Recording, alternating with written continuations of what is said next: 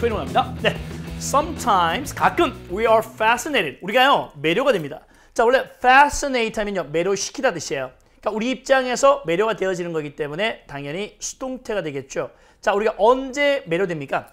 When our assumptions 우리의 추정, 가정이죠. 우리가 살아가면서 세상은 이럴 거다라고 하는 나름대로의 가정이 있죠. 가정이나 추정, 그렇죠? 이런 것을 우리는 assumption이라고 합니다. assumption, right? assumption. 자, 우리의 가정 또는 우리의 편견, 우리의 통념, 이 모든 게 assumption이에요. 우리 통념이 아 turn inside out and around. 자, turn inside out. 안에 것이 밖에 있고 밖에 것이 안에 있으니까 뒤집어진다는 뜻이에요.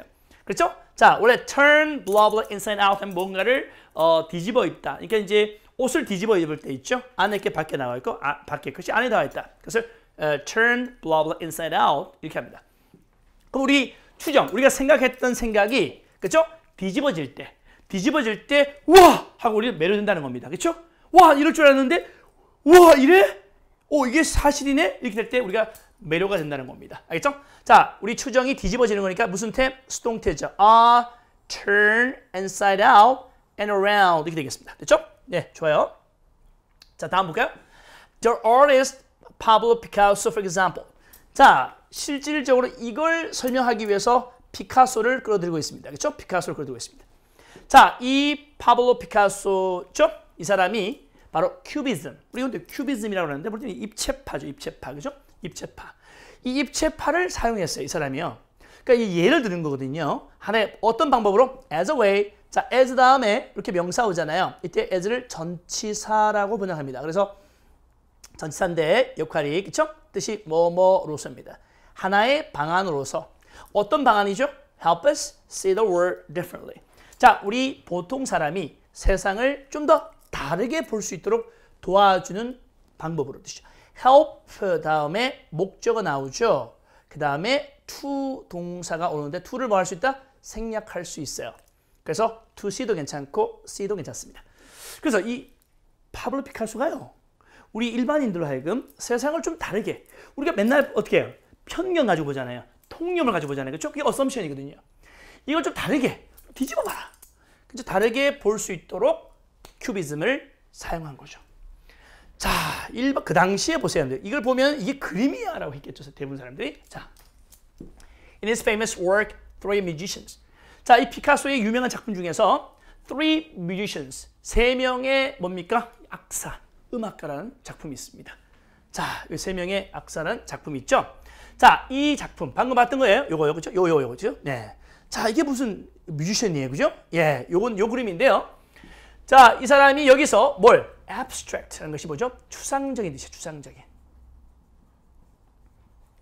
추상적인 뜻입니다. 추상적인 형태를 사용했습니다. 뭐 하기 위해서? To shape the players. 그 플레이어들이죠. 연주자들을 어, shape, 만들기 위해서, 그렇죠? 형성하기 위해서 어떤 식으로 연주자를 그렸냐면 such an unexpected way.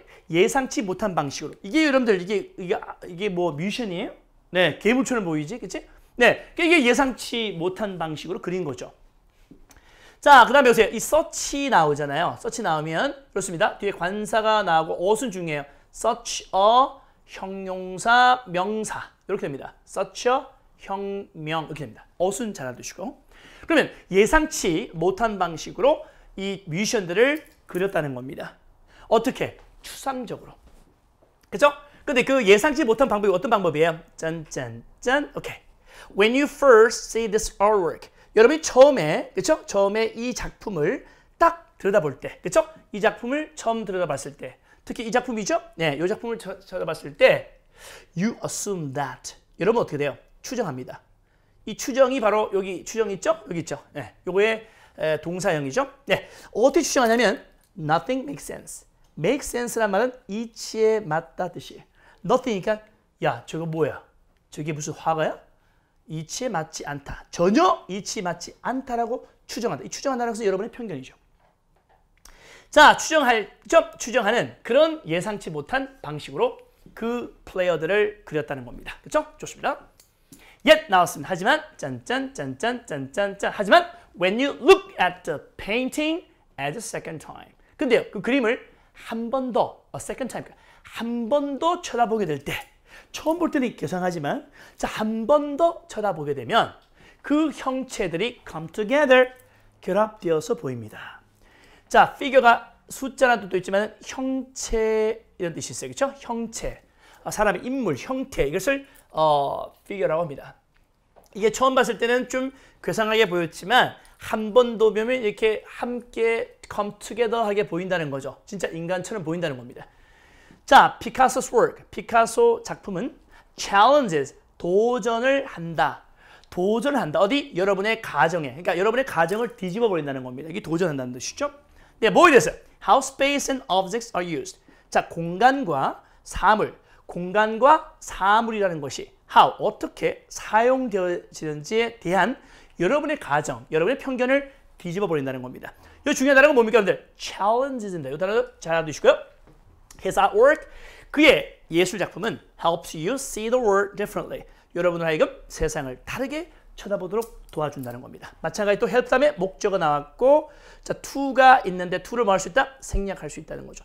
자 and가 있으니까 짠짠짠짠짠 양쪽에 예쁘게 병치 이렇게 짠짠 이렇게 되겠죠. 자, 그 예술 작품은 여러분에게 세상을 달리 보게 도와주고 여러분에게 또 remind A that B remind A that B인데 이 that을 생략할 수 있죠? 네. 자, 여러분에게 대리아를 상기시켜준다. 뭘? There are alternative ways. 세상에는 대안적인 방법이 있다. 딱 한 가지 방법밖 있는 것이 아니라 대안적인 방법이 있다는 겁니다. 어떤 방법? Using shape, 형태와 사물과 색깔을 사용하는 대안적인 방법, 또 다른 방법들이 존재한다는 것을 상기시킨다는 거죠. 그러니까 우리 이태원의 1대1 명품 코칭도 기존에 여러분이 공부하는, 그렇죠? 1대 다수의 프로그램을 뒤집는, 편견을 뒤집는 그런 강의를 할 수 있죠. 그죠? 네. 그러니까 여러분들 친구들 많이 소개하세요. 네. 자, 좋아요. The reward for this. 이것에 대한 대가는 바로 뭐냐면 intrinsic, 내재적인 intrinsic, intrinsic, 내재적인 즐거움. 그러니까 이거에 대한 대가. 그렇죠? 이렇게 뒤집었을 때 이 내적으로 굉장히 즐거움이 있다는 겁니다. You get. 여러분이 얻게 되는 뭐? Looking at this work. 이 작품을 들여다봄으로써 여러분이 얻게 되는 내재적인, 본질적인 즐거움이 그 대가로 다가온다는 겁니다. 여기 중요한 단어 intrinsic입니다. 이 단어의 반대가 이제 뭐냐면 ex, t-r-i-n-s-i-c에서 extrinsic 하면 외적인 ex라고 하는 단어는요. 이 out의 의미예요. 이는 안쪽이니까 내적 즐거움이 존재한다는 겁니다. 이렇게 해서 21까지 정리해봤습니다. 자, 잠시 후에 22에서 뵙겠습니다. 네.